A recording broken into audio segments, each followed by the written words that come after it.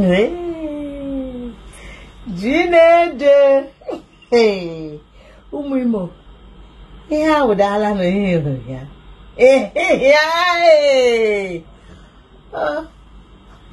Willie Amadiosu na ya ga-eji aka efu kpuchie akwarịrị elu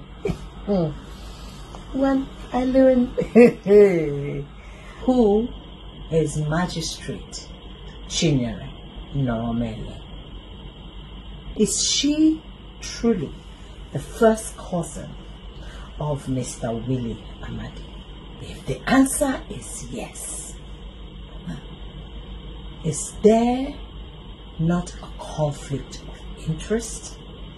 And based on that, does the legal profession ethics not say she should recuse herself from the case since she is now a prejudiced party of the case? If she has refused to recuse herself or did not recuse herself, does that not amount to abuse of the profession's ethics and her position as magistrate? Hmm. Questions begging for answers. What jurisdictional abracadabra moved the case from Owerri to Isu, where you have Mr. Willie Amadi's first cousin, Mrs. Normele, as magistrate? It can't be sheer coincidence, no. So why was she in a hurry to send this boy to prison?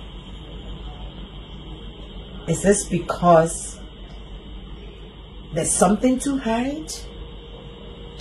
Or what exactly, what kangaroo process went on?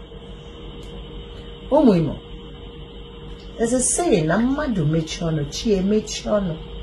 It is time for all of you to begin to demand justice and accountability.